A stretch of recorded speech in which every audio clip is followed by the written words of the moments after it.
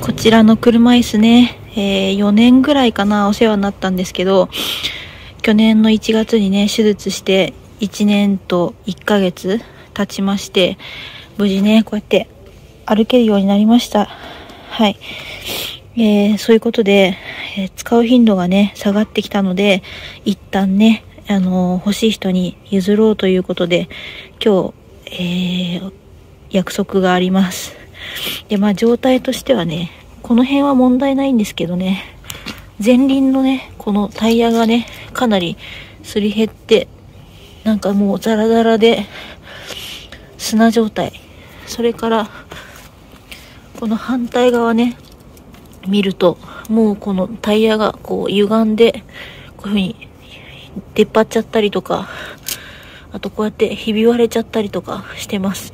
で、こういうのはね、もう写真も見せて、説明も2回して、それでもね、欲しいって言ってくださったんで、あの、お譲りすることになりました。それからね、こう座るところはね、クッション引いて座ってたりしたんで大丈夫なんですけどね、背もたれですね、ここが結構、擦れちゃってますね。この真ん中のところがね。はい、遠目で見るとこういう感じ。はい。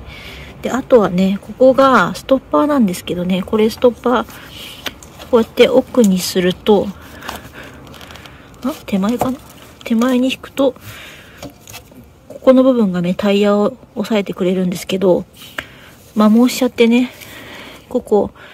えー、っと、見てわかるかわかんないけど、ちょっとこう、くぼんでんですよね。こうやって、すり減っちゃったんで、電車とかでね、これ、ストッパーかけても、動いちゃうんですよね。この車椅子ごとずりっと移動しちゃうっていう状態で、足で床つけてないと動いちゃうっていう感じでしたね。これ反対側も同じ状況で、ここのとこがね、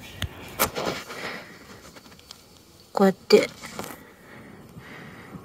まあ、なんて言ったらいいんだろう、すり減ってるというか、へこんでますね。で、タイヤはこれあのゴムチューブじゃないんで、別にパンクとかもないんですけど、まあ、チューブもそれなりにすり減ってるという状況ですかね。はい。えー、それから、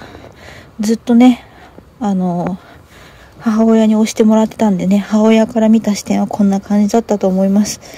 本当私の方は体重がね、20キロぐらい重いんですけど、よくね、頑張って押してくれました。ここにね、夜は、あのー、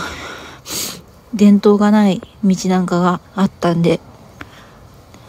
LED ライト入れて、入れたりとか、手袋入れたりとかしてましたね。はい。えー、ってわけで、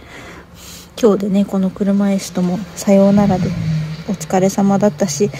自分が一番辛い時期を一緒にいたんで、すごい名残惜しいんですけど、まああの、使ってくださる方が現れたっていうことでね、この車椅子には第2の人生をね、送ってもらおうと思います。はい。えー、というわけでね、今までありがとうね。